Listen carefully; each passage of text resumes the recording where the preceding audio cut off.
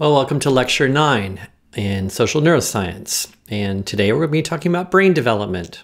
now, um, before I actually start talking about brain development, I just want to go ahead and just do a quick review of psychological development and this is because most of the stuff that we could be talking about about development is very well covered by other courses if you're a psychology student. And in fact, Sapolsky does a really good job of summing up some of the major things you should know about psychological development. So I'm just going to refer you to, to Sapolsky's chapter for other stuff that I'm not covering today.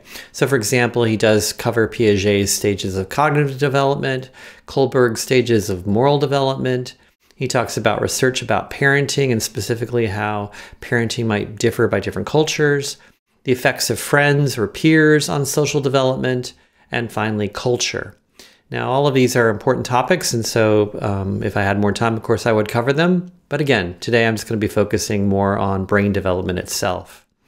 Um, there is one last section of chapter 7 in Sapolsky's book about sex in the brain that I'll be covering in the next lecture. All right, so for brain development, so what we're going to talk about first, we're going to talk about prenatal development. Then we're going to cover five processes in the development of neurons. We'll talk about the roles of experience in the environment. And specifically, we'll be looking a little bit more at behaviorism and then attachment theory. And then finally, the last part of the lecture, probably the most depressing part of the lecture, is the vulnerable developing brain. We're going to look at how stress and childhood poverty affect uh, the developing brain, stress and childhood adversity more generally, diet and pollution can all affect your developing brain. So let's look at development of the brain all the way back to the fetus. And specifically, um, we're going to look at what happens around day 18, where you have a neural plate that's formed. And now, the neural plate is because around this time, uh, when the CNS begins to form, you actually have three layers in the embryo, three cell layers. And then one layer is called the ectoderm. This is where um, skin and neural tissues will eventually arise. We have the mesoderm, where muscle and bone arise. And then finally, the endoderm, where digestive and respiratory tracts um, will develop from. So in this drawing, you can see in pink we have the um, ectoderm, and this is where originally it's called the neural plate, but between days 18 and day 22, things sort of wrap around. We get this thing called the neural tube. And the neural tube is basically where all of the brain and spinal cord uh, development is going to occur. There's a nice example of this here where you can kind of see the neural tube in terms of its three main parts called the proencephalon, the mesencephalon, and the rhombencephalon. And then there's secondary divisions for each of them. And then finally, you can see what's going to happen in terms of where these go. Um, and for instance, the proencephalon is going to become um, the cerebral cortices, the caudate, the putamen, the thalamus, the hypothalamus, and all that comes from the proencephalon. Now, you don't need to know these terms, proencephalon, mesencephalon, and so on, but I just wanted to show you that very early on, that neural tube is already starting to segment, segment and then as it segments, it's going to continue to subdivide and create those final segments that we have in the adult brain. So in prenatal development, you can see this nice drawing here, kind of showing what happens from three weeks, seven weeks, 11 weeks, and so on. Um, by seven weeks, the hindbrain, the midbrain, and the forebrain are well differentiated. So it's easy to see in um, any kind of observation of a fetal brain. Um, at birth, amazingly, um, the brain weighs 350 grams. But at about nine months after birth, the prefrontal cortex is already developed enough for the child to achieve object permanence. And then finally, at the end of the first year, the brain weighs about a thousand grams, which is relatively close to what the adult weight of the brain is, which is between usually 1200 and 1400 grams. So a lot is happening from uh, conception all the way up to that end of that first year in terms of brain development. Now, a lot of what's happening besides this organization into these different segments of the brain is we have just neuron growth happening exponentially. It's really happening quickly, and there's lots of things happening in terms of where the neurons are going and so on. So I wanted to go ahead and just review with you five processes in the development of neurons. And some of these we've referred to in earlier lectures, and now we can kind of really talk about them in a little bit more detail. Um, proliferation is one of these processes. So this is the production of new cells. Proliferation happens a lot in the prenatal brain. The neurons are developing in one of the four ventricles in the brain or in the spinal column. In humans, by the fifth month of pregnancy, they are already peaking in that fetus at around 250,000 new neurons a minute. So that's a lot of neuron growth happening, 250,000 new neurons a minute. And then after they, um, you know, are created, there's division, and some of them will stay on as stem cells, and that means that they will have the ability to create more neurons and others will become daughter cells that go off to new destinations in the brain and basically start to form these different structures in the brain. So that's proliferation, the one process of just producing all these new cells that happens at a great amount of um, a great pace in these early months. Then we have another process which is called migration and aggregation. And as we said, these daughter cells start to move elsewhere. And these primitive daughter cells are called neuroblasts. In the brain, they move along what are called radial glia, which is um, glia are like the supporting um, uh, uh, compounds that are helping the, the neurons develop and move. And they basically form sort of like a scaffolding where the um, neuroblasts can move along to the place where they need to be positioned, where they need to go. So there's all this migration happening as the neurons are created and then they kind of be moved, they're moved into the right place along this sort of brain scaffolding of the radial glia.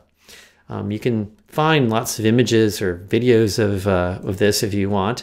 Uh, here's just an example, for instance, of migration in action of the rat embryo. embryo. And you can see here, here's a single cell that's moving along some of these glia, the glia scaffolding. And you can see the time down there of 20 hours, 24 hours, and so on. And as the, as the time passes in this developing rat embryo, you can see how that neuron has just moved from one place to another in the brain in just a matter of a few days. All right, so the same thing's happening in all sorts of mammal brains, including human brains during development. So that's obviously a very important process. The third process I wanted to bring up here is what's called differentiation.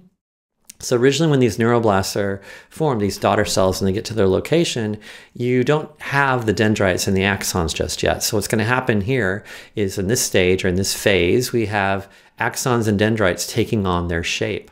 Now the axons really start first. They're actually the ones that grow before the dendrites. So you can see in this picture, um, the, the axon came first, and then after the axon was kind of fully out where it was going to go and it branched, then the dendrites start to branch and create all of their um, little um, branches. How does the axon know where to go? Because you remember the axons are the ones that are probably stretching and moving along the farthest.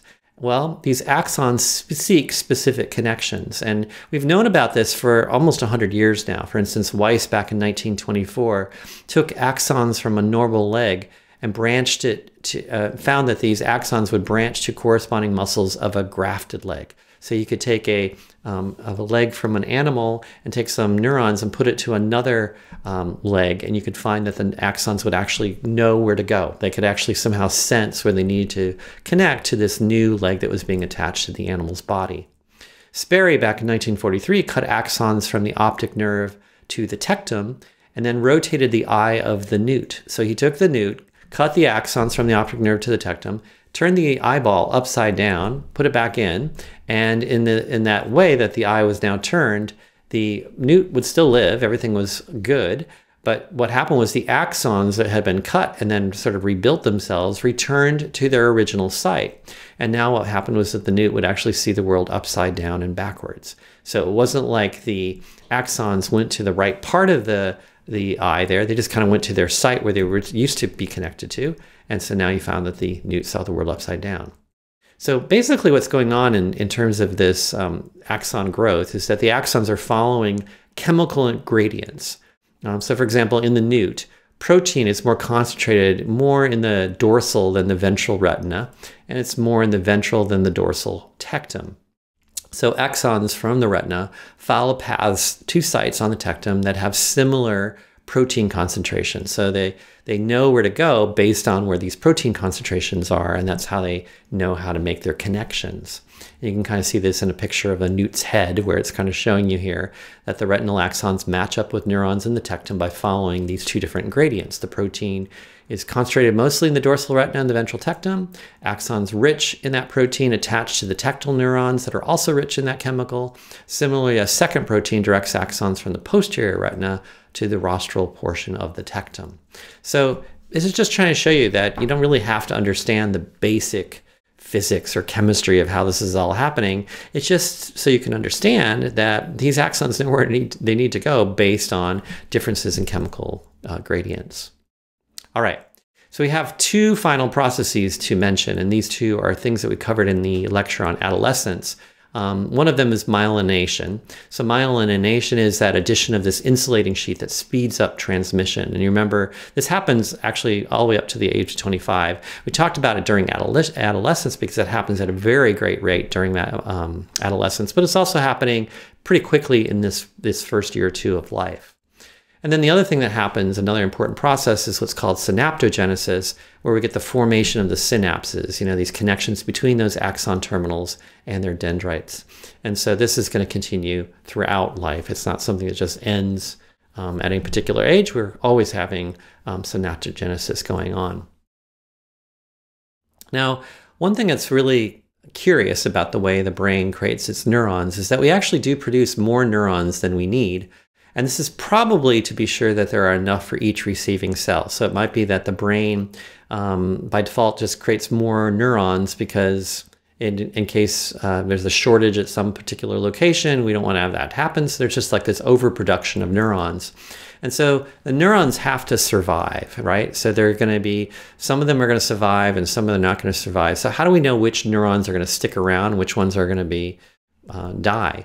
Well, their survival requires two conditions. One is that they must form a synapse with whatever their target cell is and receive a nerve growth factor, uh, a neurotrophin it's called, which is a type of protein, from that cell. So as the neuron makes a synapse with another neuron, the dendrites of that neuron, that second receiving neuron will actually send out this nerve growth factor that will tell that um, that basically gives the signal to that cell that it's made contact or it's made a, a proper synaptic connection. And so that's a necessary requirement is that neurons must make these synapses. They also must be stimulated to release the neurotransmitters into the synapse. So if, you know, they might go ahead and done their thing where the axon has gone to a, the right location to make a possible synapse with a um, some dendrites of a receiving neuron, if it can't release any neurotransmitters into that synapse, it's not necessary. We don't need that particular neuron. So what happens is, without those two conditions being met, you get what's called apoptosis, which is programmed cell death that occurs when the synapses receive little nerve growth factor and other neurotrophins that basically are signaling to that neuron, we don't need you, right? So if um, we're not getting any signs from a receiving neuron that um, we've we've been receiving neurotransmitters or that we're getting um, the synapse to be built. Um, basically, that neuron knows then, I say knows, but it's getting feedback that it doesn't, it's not necessary, and so it's going to be programmed to die. And then, the, as I mentioned in a previous lecture, when that happens, um, the neurons um, pieces of bits are going to actually be recycled and used elsewhere.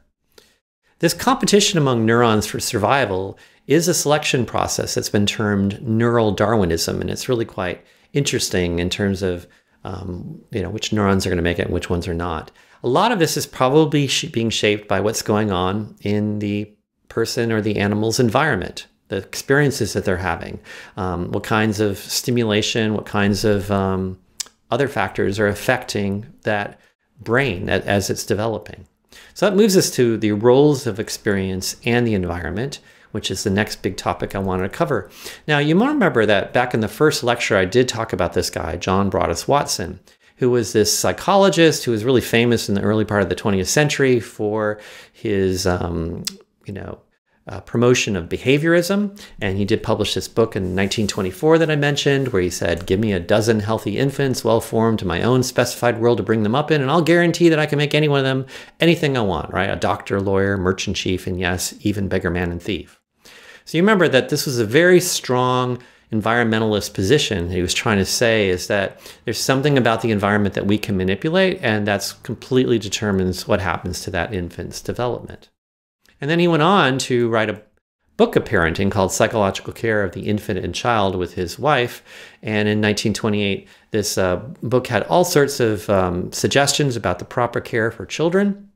But because at that time, the um, approach of behaviorists in psychology and particularly Watson's flavor of behaviorism, focused on external events. It was mainly a book recommending how adults or parents should manipulate the environment of their infant so that the child will grow up um, correctly and have the best experience. And so you might remember I told you that there was even tips about how loud the sounds are around there, so it doesn't create inappropriate fear reactions. That there should be loose enough clothing on so you don't um, cause unnecessary range rage from having a child that's bundled too tightly. And you remember too that he said that children should never be stimulated into love responses when they um, when they ought to be developing self-reliant behavior. And he said nothing made him um, draw a scorn more than anything than the coddling of children, which he saw was the ineffective behavior, uh, ineffective reward um, by giving child's children hugs and kisses. He said, When I hear a mother say, bless its heart, when it falls down or stubs its toe or suffers some other ill will, I usually have to walk a block or two off to let off steam. Never hug and kiss them, he said. Never let them sit on your lap. If you must, kiss them once on the forehead when they say goodnight, shake hands with them in the morning, give them a pat on the head if they've made an extraordinarily good job of a difficult task. Now, why was he saying all that? I mean, it just sounds like he's being so severe. But he strongly had these notions about emotions, and specifically love, that he thought that love can't be confusing. It needs to be um, given in a particular way um, at only particular times. And if you go ahead and give them too much love, and you, and, this, and by the way, love is just a type of kind of reinforcement, right? So you're going to go ahead and give them these things that make them feel love. That's actually just going to confuse their development. So it was a really sort of very manipulative idea for how you're supposed to raise your children. Now, Watson did fall out of favor in academia. He ended up having a scandal when he um, got into an affair with this woman that he ended up marrying. But after um, uh, Watson, we do have that continuation of behaviorism with B.F. Skinner. Now, Skinner never took such an extreme position like Watson in terms of writing a book and telling people that you shouldn't give any love to your children, but he still, and he and the other behaviorists, I should say, still believed that it was all about reinforcement and the environment and whether or not you got positively reinforced, that will increase your behavior. Um, and so he really emphasized for the rearing of children that it had to do with reinforcements. Okay. And so something like love and affection wasn't really something you could easily quantify. So it would be more about the fact that a parent is a good parent when they give their child um, food, they give them warmth, they give them safety, that kind of stuff would be um, more important, I guess, for reinforcement. Now, that position that Skinner took in the 40s and 50s, though, was countered by other people. There were other psychologists who did not agree with Skinner and the behaviorists, and one of those people was Harry Harlow. Now, Harlow is talked about in Sapolsky's book. Now, Harlow did most of his research with rhesus monkeys at the University of Wisconsin in the United States um, in the 1950s and 60s.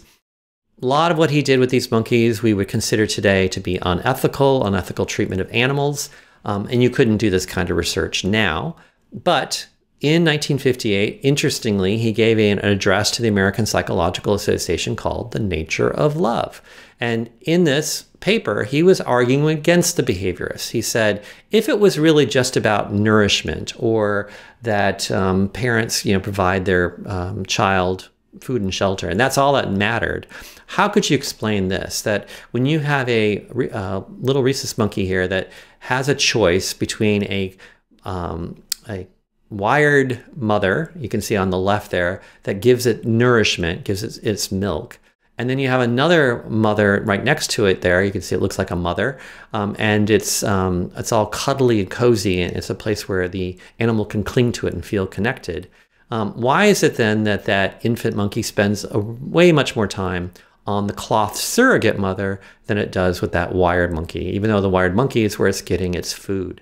And so that question that he posed in his talk was that he said that there must be something really fundamental about parenting that when you have a child or a baby rhesus monkey, um, that it needs to have love, it needs to have cuddling, it needs to have touch from its parent. So this really started to make people question the whole behaviorist approach to parenting. But another important person that comes along around this time is John Bowlby. John Bowlby was a British psychologist, psychiatrist, and a psychoanalyst. And he had done work for many decades um, looking at what happened to children who didn't have the, the best um, uh, developmental histories. Um, for instance, back in the 40s and 50s, shortly, I think it actually started during World War II, Bowlby was really interested in understanding juvenile delinquents in, in London. And what he discovered is that most of the juvenile delinquents that he interviewed and studied had prolonged separation from their primary caregiver before the age of five. And so I think a prolonged um, uh, uh, separation was something like six to eight months, something that happened where they had an interrupted um, caregiving from their primary caregiver that had happened before the age of five. He later extended this thinking to families that were intact, but perhaps where the children didn't really attach to their parents. That is, maybe you were never really separated from your primary caregiver, but there's something about your relationship with your parent where you don't have like a a bond or attachment or connection between you and that parent. And so that research that he did for a couple decades looking at juvenile delinquency and other problems among adolescents led to his formulation of attachment theory that he published in three large volumes in 1969, 1972, and 1980. Now, a lot of this work on attachment theory came around uh, came about from working with one of his colleagues on what's called the stranger, uh, sorry, the strange situation task. And in the strange situation task, what you would do is you would put your infant um, or your toddler in a position where the mother might be there, uh, or it's usually the mother. The mother would be there with the infant or the toddler, and then suddenly the mother would get up and leave, and then the mother would come back, and the mother would leave, mother would come back. And in that interaction, as the mother keeps leaving and coming back, they go ahead and the observers, the people running the, the study, would actually pay attention to how the, the um, toddler, the child, the baby would act. And what they ended up coming up with was a classification system for different kinds of children. One was what they called an, a secure attachment pattern. And basically, this was characterized by um, children where I, they their responses with when the caregiving was available. I'm sorry, it's it's a kind of response uh, that you have when caregiving is available and and the caregiver is meeting their needs. So basically, a secure attachment basically means that the child doesn't panic when the caregiver leaves the room because like their needs are currently being met. They're happy to see them when they come back and they continue to play. And then the mother leaves again, they're just fine with it. Because what basically this means is that if you have a secure attachment with that primary caregiver, you know that you're you can depend on them. The caregiver is going to be around when you need them, and not only that, they actually meet their your needs. So they call that a secure response pattern. Then they had what they called an anxious ambivalent pattern. This was basically a pattern where the child would get quite um, sort of upset when the mother would leave, but then when the mother would come back, the child would act sort of ambivalent, not really care that the mother was back. And so they considered this kind of attachment uh, style to be a response to an unpredictable caregiving um, from the primary caregiver. Then there was ambivalent avoidant, which was what they said was um, basically a response to constant rejection. So this child is just never cares whether or not the parent is there. They're just basically always sort of upset when the parent's not around, but they don't care when the parent comes back either. And this, they think, had to do with uh, pay, maybe a pattern of behavior between that child and their caregiver in which the um, caregiver just didn't was rejecting them whenever the child needed something and so that meant that, that this child uh, just didn't really want to depend on that caregiver anymore. And finally, there's a fourth type of attachment that they talked about in later years. Um, this is what was called a disorganized attachment. The children who had a disorganized attachment had really stressful like looking responses. They would shake, they would be quite upset, and um, it would just happen the entire time that they were being tested, basically. This is sort of like a category that didn't fit really well with the other three types of attachments. So it was sort of like a mixed category of responses. But later, as they did the research, they found that most of the mothers of these children had suffered major losses or other trauma shortly before or after the birth of the infant. So maybe like there had been a murder that had taken place or there was a really bad accident. And so the mother had reacted by becoming severely depressed due to that trauma. And that seemed to be what characterized most of the uh, mothers of these kids that were disorganized. All right, so I know you've run into attachment theory before, but it's important just so you know what the basics are so we can talk about it a little bit more here. Um, it has found been found to continue on into adulthood. Um, Hazan and Shaver in 1987 were the first to actually look this in this in adults. They called it secure, anxious, ambivalent, and avoidant, and I'll show you what their items would be like for that particular uh, adult attachment. And then Bartholomew and Horowitz also um, looked at this. They talked about what they called the working model of the other and whether you could trust them or whether it was negative, and then the working model of the self, whether you think of yourself as being worthy or um, or negative. Um, and then the combination of those two working models would determine what your attachment style was. This Bartholomew and Horowitz, by the way, fits better with the way that Bowlby originally talked about it. So Bowlby thought of those different kinds of attachment patterns as being working models or mental models about how that child thinks of their relationship with their caregiver. So they're sort of developing from experience, from history. You know, every time there's an interaction between that child and their caregiver, there's like new data coming in to kind of update what that model is. And so the four different kinds of attachment patterns that I mentioned there would be a result of the different working models that have been created by their experiences with their primary caregiver. Now let's just look at these adult attachment styles for just for a second. So Hazan and Shaver have done a lot of research, like I said, looking at this with adults.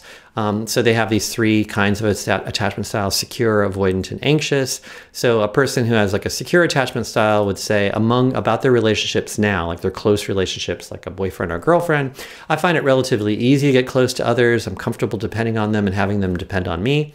I don't often worry about being abandoned or about someone getting too close to me. So you can see that kind of seems similar to what you saw in the uh, stranger situation task. Um, an avoidant would be I am somewhat uncomfortable with being close to others. I find it difficult to allow myself to depend on them.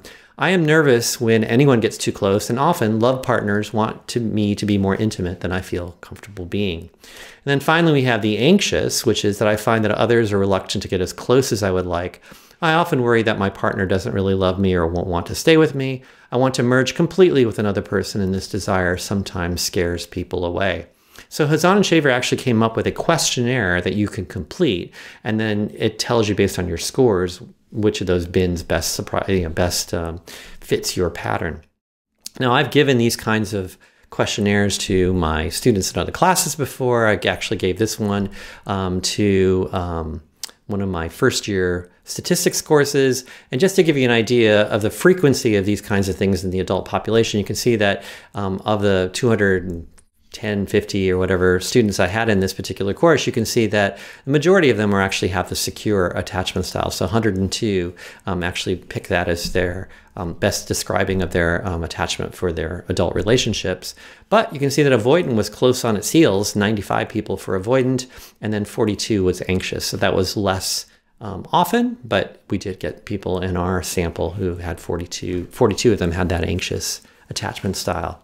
So this is sort of a categorical approach, I call it, because what you're doing is you're just putting people sort of like in each of those three different bins or categories, much like the way um, they would have done back in uh, Bowlby's time with his research, where they would go ahead and test these infants and then uh, put them in those different attachment styles. There's also this other approach that I mentioned, which has to do with more about your mental working models of yourself and other. Um, and this is more of a dimensional approach. So the idea here is that you can actually have scores on a couple different dimensions, whether you're high or low in avoidance and whether you have high or low anxiety about your particular partner. And you can see that if you have low anxiety and low avoidance, you'd have basically like a secure attachment style. But if you have low avoidance but high anxiety, then you become preoccupied. That's your attachment style. High avoidance, high anxiety is a fearful avoidant. And then finally, we have a dismissing avoidant, which would be low anxiety, high avoidance. So this is another sort of approach is to use a dimensional approach again with questionnaires that you could um, complete and then find out if your participants fit where they fit on this particular um, set of axes. Now, the why I brought all this up is because the researchers who looked at adult attachment styles have in their heads when they originally started doing this work back in the 80s, they thought, well, is any of this related to what they were like when they were kids? Like if you tested them in the stranger situation test, are they like this when they become adults? And there is lots of evidence now, longitudinal research that shows that if you do test somebody well into their adult years, that pretty much the same sort of working model that you develop about your primary caregiver becomes the working model you have about any other close relationship. So if you basically have a secure attachment style with your primary caregiver, then as an adult, you'll have a secure attachment style pretty much with your close relationships as an adult. So this is a nice connection. It kind of shows it seems to kind of fit the whatever your experiences are. Um, they're going to kind of stay with them, uh, stay with those working models. But please keep in mind that the idea between both um, Bowlby and even these modern researchers now who've been looking at adult attachment style is that your working model is constantly being updated. So a working model means that, you know, this is a pretty good model that works for most of the time to help me understand what I'm going to expect in close relationships. But you could have experiences that could change you from having, like for instance, a secure attachment style to being more a fearful avoidant. Or maybe you finally overcome the fearful avoidant and become more secure. Um, things do change. And so you don't get like a 100% correlation here between what goes on in early life and, and what happens with adults. But that said, here's an interesting study that was published in 2022, February of 2022. It's um, basically what it shows is that early attachment does predict behavior and neural responses to cues of trustworthiness at adolescence. So this is a longitudinal study where they're able to study the same kids from when they were first tested on the stranger situation task to, sorry, the strange situation task until they get tested in an fMRI scanner. So what they did is they looked at 52 US children tested at 33 months of age in the strange situation procedure. So they did sort of a classic version of the strange situation procedure. Um, there were some changes they made from the way it was originally proposed back in the 60s, but they used that and tested all those kids when they were 33 months of age. And then 10 years later, they recruited them to participate in a study. Now they're around 13 years of age, so they're in their adolescence. All right. So back at 33 months, what did they find? Well, the strange situation procedure yielded four types of um, secure insecure attachment styles. Now you'll notice that the names for these categories is a bit different from the way Bowlby talked about them, or even the way that some of those adult attachment researchers uh, uh, use them. So there's always this sort of evolving thing going on in the attachment literature. And if you really want to be up to date on it, you want to go and look at some of the most recent research on it. They have come up with different nuanced names for some of these attachments. But here we go. We have 33 secure toddlers. That turns out to be the most common group was that they had 33 out of those 52 kids tested were um, secure. They had two that had what they called insecure avoidant. You had eight that had insecure ambivalent. And finally, they had nine that were insecure other. And this might be as close to like the disorganized stage. But what they ended up doing, because they got so few people coming back 10 years later from those insecure groups, they went ahead and just put those groups together and called them the insecure group. So you can see we have 19 then of these adolescents had insecure patterns, although the patterns were a little bit different. And the reason why they had to do that is because they needed enough power. They needed to have large enough groups here to make comparisons. So they just went ahead and compared the secure to the insecure um, toddler sample. Okay. So now here they are at 13 on average, and they're coming to the fMRI scanner. And what do they do? Well, in the scanner, they're going to view 28 faces one at a time, and each picture is going to be presented to them. And the picture indicate is that sh is shown to them is something that varies in terms of how untrustworthy to trustworthy the picture looks. So these are actually the some of the pictures. It comes from the Karolinska um, stimulus set. So Karolinska is in Sweden, and they created this stimulus set, I think, of Swedes um, who just look at the camera like you see there in this picture.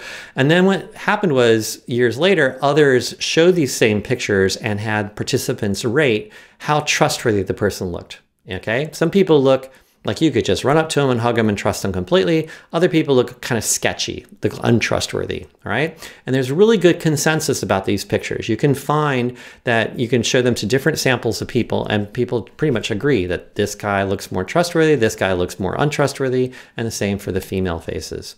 All right, so keep that in mind. So they have like this nice um, standardized stimulus set, much like we talked about in a previous lecture about the International Affective Picture System that's been normed on hundreds and hundreds of people who've made the ratings of those pictures. Same thing here. People have rated these pictures and then we have really good norms about whether the picture is somebody who's trustworthy or untrustworthy. Now, in the scanner, they had um, these regions of interest, and you can see them identified here in the picture from the article. That is, um, they were mainly looking at the amygdala, the right anterior insula, the right superior superior temporal sulcus, and the fusiform gyrus. So all parts of the social brain, and specifically there's parts of the social brain that in other research have been found to be sensitive to perceptions of trustworthiness when adults look at pictures of faces like this. So when other in other studies, people have shown them the Carol the uh, researchers have shown these Karolinska um, photos, and we found that those are the areas that tend to be sensitive to how trustworthy or untrustworthy the picture actually is. All right, so now we have a basic understanding what the study is. Let's look at what they found. Now, their main finding here, remember, they are all adolescents, all of our participants now, and they could be divided into those who were insecure versus those who were secure. And what they found was that those with an insecure attachment from 33 months of age were more likely to rate the less trustworthy faces as actually trustworthy. And they showed less activation in their regions of interest, those particular areas that I talked about, when they looked at less trustworthy faces. Now you can see this by looking at the picture on the left, figure two. This is just their ratings of trustworthiness. So the participant rates how trustworthy the face looks. And now at the bottom on the x-axis, you can see what's called consensus ratings of the facial stimuli. That has to do with those normed ratings that hundreds of other participants have given, right? So some of these photos were already had been rated as more trustworthy, some were in the middle, some were in the less trustworthy range. And you can see that this line here, this like regression line is showing you that when the photo is more trustworthy, the two groups, insecure and secure, have no significant difference. That's what that n dot s dot means. No significant difference in how they rated how trustworthy they were. They basically, they see a trustworthy face, both insecure and secure say, yeah, that looks like a trustworthy face. Where they differed were those pictures where the um, face was less trustworthy. And so there you can see that secure people really do rate that less trustworthy face as less trustworthy. Whereas the insecure um, attachment people, they're actually giving them higher ratings for trustworthiness. They don't seem to be as deeply affected by how untrustworthy the face looks. Over on the right, you can see the activation across those regions of interest. So they've just grouped them across all of them, the amygdala and the STS and so on. And you can see that you get that same sort of pattern for the most trustworthy pictures. There's no difference for insecure and secure participants when they look at the most trustworthy photos. The difference really lies in the ones that are less trustworthy. And specifically, you can see that when secure people look at untrustworthy faces, those areas like the amygdala, the anterior insula, and so on become more activated. It's like they're scanning the face, looking for them to see if you can trust them. The insecure people are not doing that. The insecure attachment people show less of scanning of those faces for the less trustworthy faces. So they're not really showing much activation there. Um, and so therefore we can kind of say they're almost like shutting it off or uh, you know, just not using it to process whether or not the face is less trustworthy. So that's really interesting. It maybe shows then that there's some sort of long-term effects of whatever their mental working models were of attachment with their primary caregiver back when they were tested at 333 months of age to now when they're looking at faces out in the world and how it affects whether or not they see them as trustworthy or not. All right, so that's a nice current study, uh, a very recent study that's looked at this relationship of attachment and trustworthiness. Now, the final topic that I want to cover here, like I said before, is sort of our most uh, depressing topic, which is um, I want to talk about the vulnerable developing brain.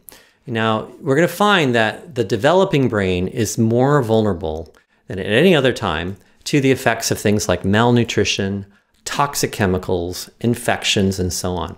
A lot of this is covered in Sapolsky's book as well, but I want to go ahead and highlight a few things that he talks about as well as some other things he didn't talk about.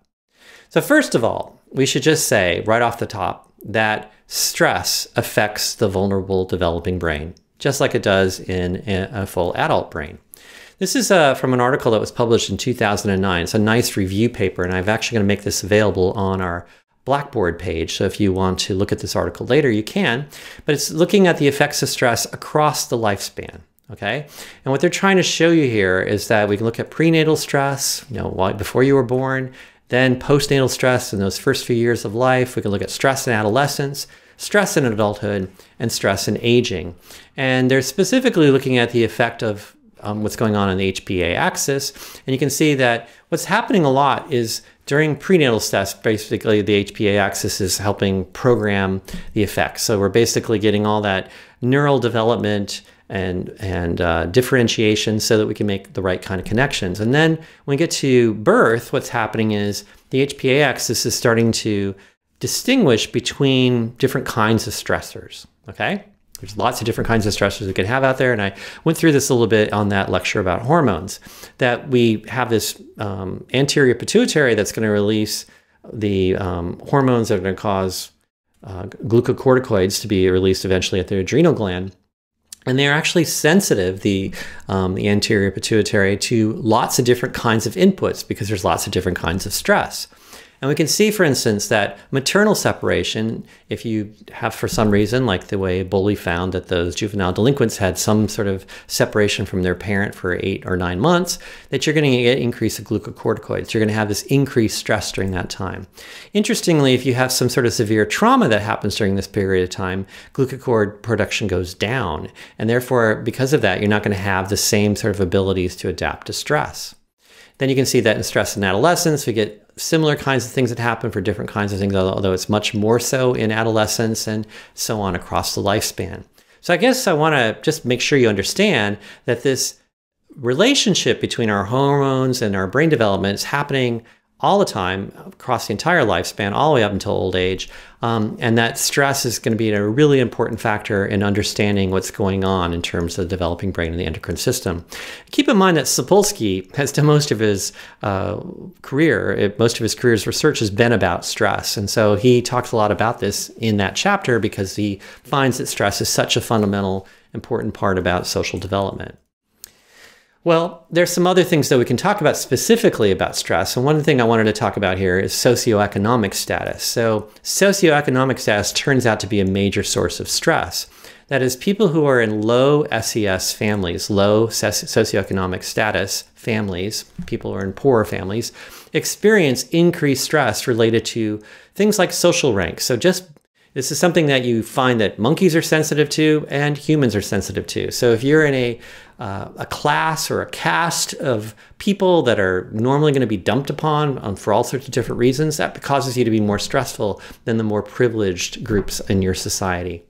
It's also going to mean that you're going to have more difficulties in providing for your family's needs. That's a lot of stress. And living in dangerous neighborhoods is stressful, and lots of other factors, right? So, lots of stress associated with being in low SES. But what's why I'm bringing this up here is that this kind of SES stress does not only affect the adults, it affects the child.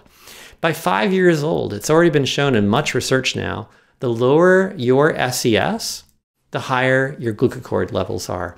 So we find that um, that just increased stress from being in low SES means that you overall have higher glucocorticoid levels, higher cortisol levels, and other stress hormones that you have a thinner frontal cortex, perhaps because of that increased uh, glucocorticoid activity. You also have poor frontal lobe functioning um, by five years old if you have lower SES. And remember how much in frontal lobes are going to be important for emotional regulation, focus, attention, all sorts of other things that keep happening all the way up through adolescence. And then we also get more impairment of corpus callosum maturation. So just by the bad luck of being somebody who's born into a low SES family or a low SES situation means that already by the age of five, we got all these differences, right? So there's already much um, significant difference between people of lower SES on these um, biological measures.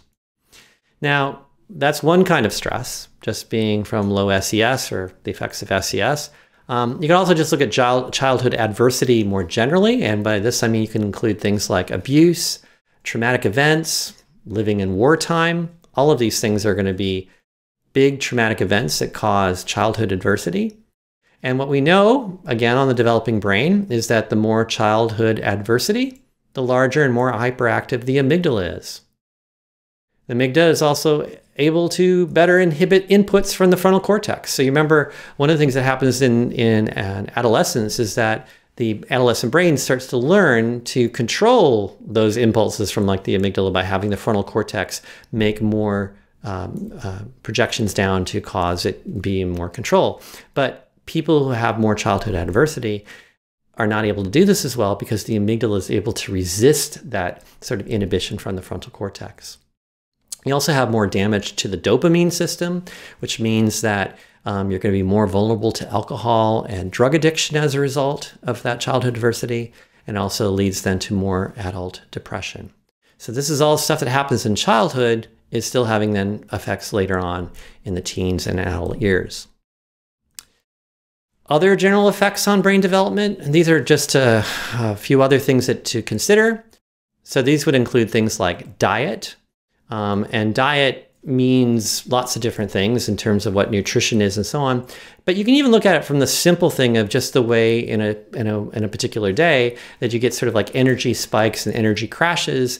A lot of modern diets now are, you know, kind of like um, take a lot of carbs right away when you first get up, get a quick breakfast, maybe eat some white bread, maybe um, get some juice in you or something. So you get a lot of sugar and a lot of um, glucose coming into the body quickly, creates a lot of energy, but then very quickly it gets used up because you're not using, um, you're not creating things with fiber and more substance that would actually last longer in terms of energy. And so because of that, you get these energy crashes sometimes 20 minutes to an hour later, all of a sudden you feel dead. You've got like a brain fog because you've had these energy spikes. And so what people then do is they drink coffee or they eat more snacks and they go back up again with their energy spikes and then they crash again. So you can imagine that kind of constant cycling of energy spikes, energy crashes is going to have effects then and how well you can focus and how well you can pay attention in school and uh, pay attention to your friends and things like that. So, just the way that we kind of in this modern Western life eat a lot of junk food that causes a lot of sugar to go rushing through our bodies and then having energy crashes, that could be affecting our brain development but also just having nutrition deficits, just generally speaking. Um, a lot of the processed kind of modern food that we eat right now is actually quite nutritionally poor. And so researchers like Pelsser et al. in 2011 have shown that kids who are switched to a more healthy diet, where they basically have to eat more plants, more, um, you know, unprocessed food, actually do better on lots of different measures in terms of attention and behavior and social relationships. So nutrition is also going to have effect then on brain development if you constantly have a bad diet. Um, another thing that has been found again and again is the effect of different kinds of food additives. And so, for example, McCann et al. in 2007, Bateman et al. in 2004 have demonstrated that different kinds of food additives that are given to, um, like in children's cereal and so on, these food additives can also have effects on brain development. In fact, in Europe, uh, when that McCann study pu was published in 2007, many European countries banned the food additives that were identified in that article of having these negative effects. Um, but lots of other parts of the world, including like the United States, have never banned those food additives. So they're still having those kinds of effects on brain development. Now, moving away from diet, we could look at the effects of pollution. Um, air pollution is going to turn out to be a very serious problem in terms of the things, the particulates that are in the air.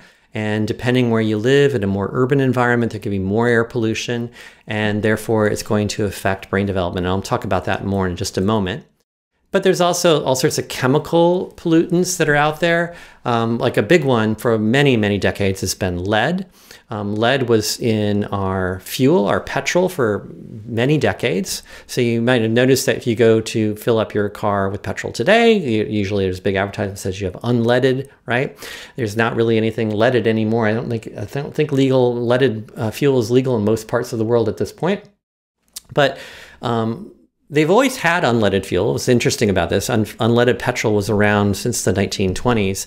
Um, but what it was is that apparently by adding lead to the petrol, um, it changed the way that they processed the petrol um, to make it for your car, but there was like a patent associated with it. And so therefore, um, leaded fuel could be marketed by having a particular formula and then the oil companies can make money from the patent and that's why they like for, persisted for many decades in fighting people from um, banning leaded fuel. But all that lead then was emitted in the air. And so for many decades, people were actually consuming lead, um, breathing it, especially in areas where there are a lot of cars. And so thankfully now we've switched to unleaded fuel. But there was also lead in paint and other um, it was an additive used in lots of different places. And so now we know that lead is basically really bad for brain development. In fact, this article here that you see in 2007 shows how crime is actually related to how much um, lead was exposed into that um, preschooler's brain. So if before the age of five, you grew up in a place that had a lot of lead exposure, lead in the water, lead in the petrol, lead in paint, um, you were more likely then to have uh, crime in your life um, later on. So you had more antisocial behavior. And so obviously that's having some sort of effect on brain development as well. That thing about air pollution, though, I just wanted to end today's lecture by talking about this in a little bit more detail, looking at a focus on air pollution, because it's a real problem for brain development. Here's a, um, a report that was released um, just a few years ago by UNICEF um, in which they looked at danger in the air, how air pollution can affect brain development in young children. And what they're trying to show you here in the pictures on the right, figures one and two, is just how common um, air pollution is in the world, even today, at places where it's much higher than what should be recommended by the World Health Organization. And so you can see that all the different parts of the world where babies are born, you can see the number of babies in the millions living in these areas where air pollution exceeds those limits. And so these are all the areas where there's that. And so you can see a lot of babies are coming from East Asia, East and Southern Africa, uh, Latin America, um, South Asia. These are the big areas where you're getting a lot of um, exposure um, to air pollution. It's not so much in North America and Europe, um, but in the other parts of the world, it's pretty high. And then on figure number two, they looked at the worst affected areas, the ones that have the highest, where the limits are way in terms of the particulates are really, really high. And this would include a lot of South Asia, a lot of East Asia. Um, these are the main areas in the Pacific where you see a lot of these uh, uh, air pollution standards are just out of control. So again, air pollution is bad. And so, what kind of effects does it have? Well, how does air pollution affect the developing brain? This is all in this report. Um, they say that particulate matter breaks down the blood brain barrier. So, if you have a lot of particulates in your air, and particulates are basically all the little things that are floating around in the air that makes pollution, that stuff gets ingested into your body. And therefore, it'll start to break down your blood brain barrier. And you remember the blood brain barriers I talked about in a previous lecture is really important because it helps keep pathogens out of getting into where the neurons are in your brain. And so if that matter, if that barrier is being broken down, it's going to be easier for you to have problems then. Um, some small, some particles are actually small enough to enter your olfactory nerve in your gut, and they actually have magnetic charges that can really just mess everything up then about your nervous system because they're now in your body, um, and just and they have magnetic charges, and their magnetic charges actually affect the way your nervous system functions. You also get these things that are called PHA, PHH, PAHs, which come from fossil, fossil fuel combustion that cause a loss of or damage to the white matter in the brain. So again, even though we got the lead out of the petrol, being around all those cars that are emitting all sorts of other kinds of pollution out there, these PAHs, the PAHs can cause loss of or damage to the white matter in the brain. The bottom line for all this, as they say, is that preliminary studies are already showing associations between air pollution and IQ, memory, behavioral problems, including social behavioral problems, anxiety, and depression in children. And now the most latest research is showing that the air pollution can also affect the de developing fetus. So we talked about all that fetal neural development happening. And if the mother is living in a place where there's a lot of air pollution, that stuff gets into the developing fetus and affects the developing fetus's brain as well. So these are other considerations then to think about when we're looking at that vulnerable developing brain. So in sum, we've talked a lot about prenatal development, that developing fetus into birth and all the way up to year one. We've talked about five processes of the development of neurons, the roles of experience and environment, the vulnerable developing brain, which included stress and childhood poverty, stress and childhood adversity, we talked about diet, and we've talked about pollution. So that's all I have. In the next lecture, we'll talk about sex and gender development. want one? I want to get